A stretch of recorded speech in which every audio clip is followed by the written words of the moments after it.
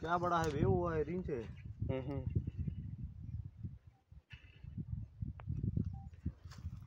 तो, तो हालत खराब हो गई।